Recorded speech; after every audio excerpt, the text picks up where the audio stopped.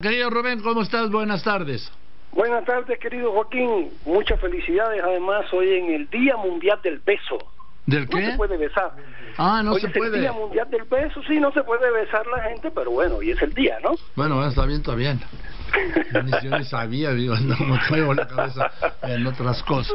Ah, Tiene la música romántica hoy ahí, pues se invita a pensar en el Día Internacional, Joaquín. Bueno, Y Joaquín, pues el, el hoy, hoy arranca la tercera semana de abril y ya se empieza a notar, eh, revisando todo, que quizá la economía mundial, Joaquín, va a ser incapaz de soportar el tiempo de reclusión que, que, se, que se exige a los seres humanos, a las personas, en una pandemia universal como esta. De pronto ya en la mayoría de los países se empieza a hablar, quizá por desespero, pero ya se empieza a hablar de fechas para levantar el confinamiento. España, por ejemplo, hoy empezó ya, que es, poco una, a poco. que es una locura. Macron Sí. acaba de decir que lo amplía hasta el 11 de mayo, digo. Así es, así es. Incluso empie- otros, ¿eh? El el, presidente hablaba de que se quería en México a partir del 10 de mayo. Eh, No, pero te acaba de decir, sí, Sí. te acaba de decir a ti el vocero de la pandemia que apenas en junio va a ser el pico de, Sí. de los contagios. O sea, está muy complicado. Eh, columnistas serios, un colega nuestro, el, de- el doctor de la Fuente, hoy en su columna del Universal hablaba de que no hay que temerle tanto a este asunto, que lo acaba de pasar, que esto que muere más gente de hambre en el mundo que de este que del coronavirus, del coronavirus, del SIDA, Creo que este tiempo de reclusión está empezando peligrosamente, Joaquín, a desesperar incluso a las personas más enteradas y a los gobernantes, sobre todo a los gobernantes. Sería bueno que se tomaran esto más, de manera más seria, y son todos los países, ¿eh? Estados Unidos está en el pico de sus contagios, en el momento eh, cúspide, tristemente cúspide, y está hablando también de que en mayo Sí, no. a... Trump dijo, Trump también dijo Trump que el domingo de Pascua, o sea, ayer ya volvería Pues sí. todo a la normalidad y ayer sumó eh, la marca de más muertos, la marca mundial, más de 2.000 muertos en un día. Así es, y eso empieza a contagiar a las personas que están en las casas recluidos, no todo el mundo tiene, no todas las personas tienen una manera de estar, muchas personas viven hacinadas, empiezan a, a desesperarse, hay datos ya en México de un, de un rebrote grande de, de, violencia intrafamiliar, y la OMS, la OMS ya también empieza a flaquear. ¿eh? Si tú, tú recuerdas, hace dos, tres días hablaba de que si los países se apresuraban a levantar el confinamiento... Ah, el viernes lo dijo, el viernes. El viernes, ¿te acuerdas? Un rebrote mortal. Sí.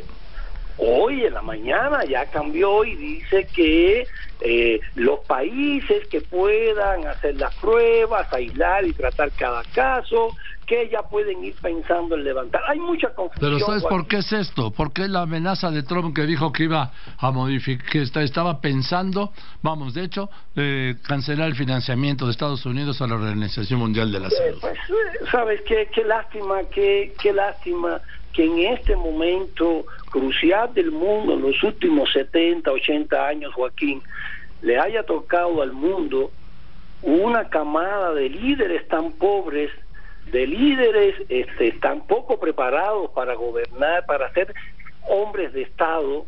Y, y yo vuelvo, es un dato que, que he manejado contigo, en este momento hay 33 países que están gobernados por gobiernos populistas y con todo lo que eso conlleva y no estamos en un buen momento del mundo, Joaquín.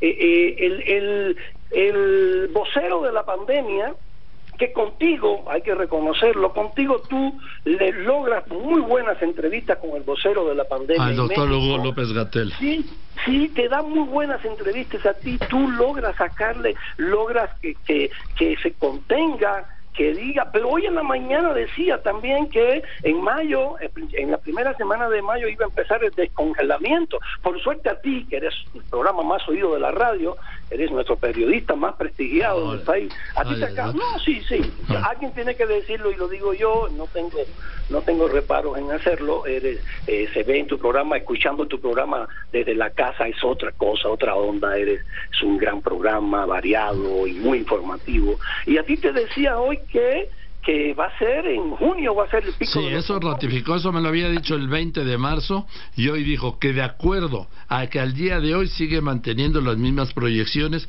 a reserva de que en esta semana se pudiera modificar, pero al día de hoy sigue manteniendo que en junio será el pico. Entonces olvidémonos de que en mayo, Joaquín... Ah, no, sí, claro. A ver. Eso ya que se olvide el presidente también, que ayer lo dijo. Sí, por supuesto, yo, yo parto de eso, sí. También había dicho que el, que el 19 de abril. Y tampoco será el 19 de abril. 10 de mayo con la Es que, a ver, yo insisto en esto, Rubén. El único que puede poner fecha en el calendario es el virus. Eso es, eso es, el virus y las personas enteradas.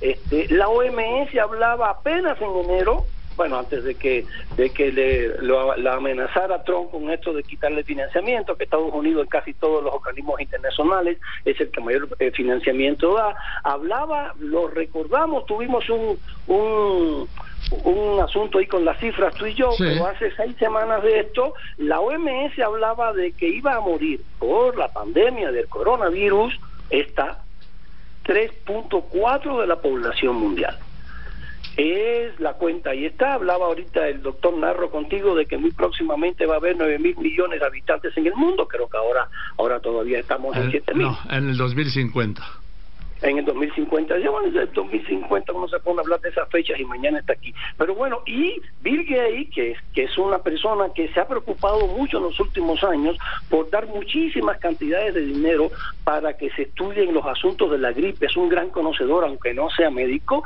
publicó un artículo por esa fecha, hace seis lunes, que hablamos de esto nosotros ahí, tú y yo, y él había publicado el fin de semana anterior un artículo en el que hablaba de que era el 1% de la población mundial la que iba a morir por esta pandemia y que eran 23 millones de personas. Yo preferiría que nos fuéramos quedando con este tipo de eh, pronunciamientos de este tipo de personas, no con los políticos que de pronto empiezan a asustarse porque dicen, bueno, después van a venir las presiones sociales sobre mí cuando los sobrevivientes o cuando la gente vea que esto no mata a todos, eh, y yo creo que hay que hacerle caso en este momento, Joaquín, a los profesionales. En fin, gracias, querido Rubén. Te mando una. Me estoy, me estoy sanitizando las manos. Gracias. Te quiero mucho, Joaquín. Gracias, que estés muy bien, Rubén Cortés, eh, que virtualmente esparce su canela fina.